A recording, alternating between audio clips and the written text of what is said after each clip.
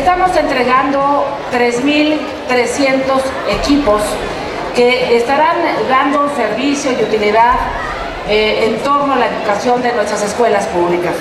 La alcaldesa Carolina Monroy del Mazo ratificó su compromiso con la educación, al dotar de mobiliario a 65 escuelas del municipio de Metepec. Cada peso que se invierte en educación es precisamente eso, una inversión que tiene que ver con el futuro de los niños y yo sé, sé muy bien porque como dije también soy madre de familia, nada más importante tenemos que nuestros propios hijos. Más de 24.000 alumnos y profesores beneficiados podrán renovar computadoras, videoproyectores, impresoras, butacas, juegos infantiles y pintarrones. Lo que usted está haciendo por nosotros nos compromete para ser mejores estudiantes, porque sabemos que nuestra presidenta municipal está esforzándose para que esta ciudad tenga mejores ciudadanos.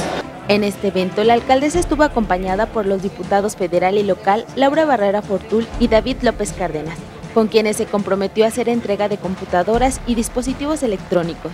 300 computadoras este año para empezar a renovar, a cambiar los equipos de cómputo.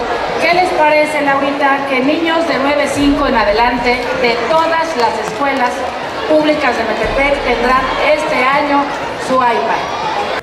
Fortaleciendo la labor educativa dentro del municipio, dio a conocer una noticia para una institución. La secundaria nacional de San Gaspar Tlahuelilpan se va a renovar.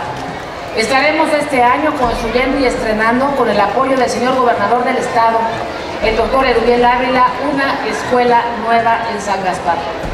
Fomentando prácticas sanas de convivencia social, anunció un proyecto que activará a niños y jóvenes, que contará con la participación de un deportista reconocido.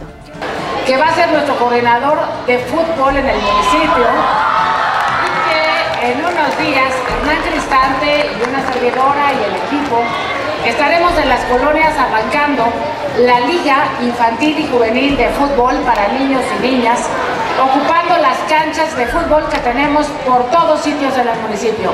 Acciones que se suman a las obras públicas con el fin de fortalecer el tejido social. Para TV Urbana Noticias, Laura Saldaña.